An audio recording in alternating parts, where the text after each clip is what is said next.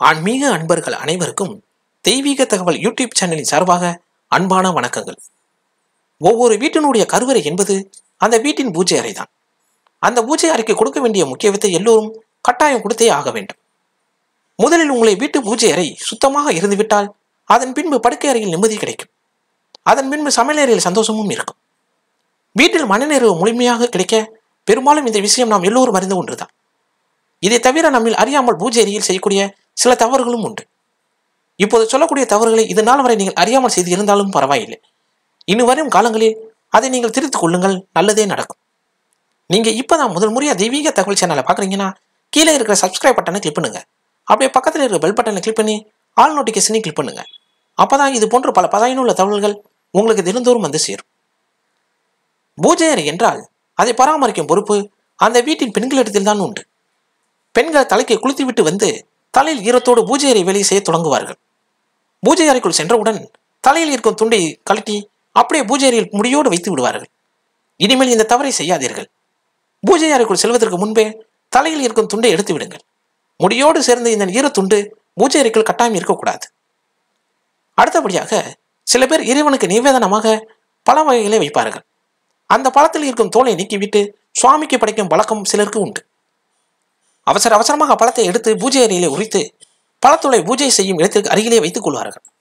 இதனால் இறைவனுக்கு நிவேதனம் செய்வதற்கு முன்பு அந்த பழத்துளை பூஜை செய்யும் இடத்தில் இருந்து அப்புறப்படுத்துவது நல்லது.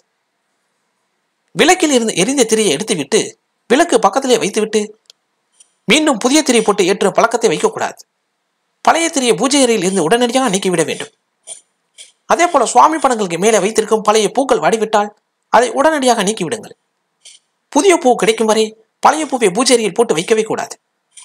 பூ இல்லாமல் தீபம் ஏற்றினாலும் தவறு கிடையாது. ஆனால் வாடிய பூவை போட்டு பூஜை செய்யவே கூடாது. வாடிய பூக்களை எடுத்து பூஜை அறைக்கு ஒரு ஓரமாக வைத்துவிட்டு மீண்டும் புதிய பூ போட்டுவதும் தவறு. வாடிய பூவை பூஜை அறையில் இருந்து வெளியே எடுத்து வர வேண்டும். கடைசியாக ஒரு விஷயம். இவை அனைத்து மிக மிக முக்கியமாக கடைபிடிக்க வேண்டியவை.